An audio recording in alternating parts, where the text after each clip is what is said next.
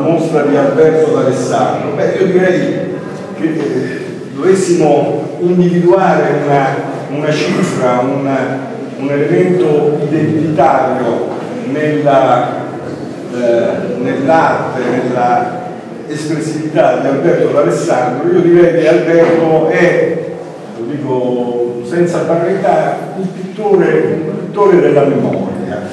e che diventano poi, come ripeto, eh, elementi centrali di una memoria millenaria eh, necessaria, eh, capace oltremodo di, di, indicarci e di sollecitarci un, un presente eh, molto più profondo, molto più intimo, con questi cromatismi anche così accentuati, a fare piccoli, eh, delle piccole custodie, dei piccoli scrigni dove appunto l'elemento fortemente legato alla madre, alla madre natura eh, riaffiora questa eh, matericità molto accentuata.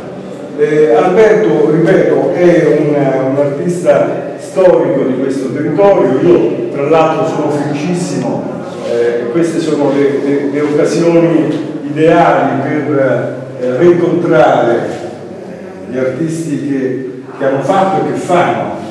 la storia di questa terra, c'è Mario Palma,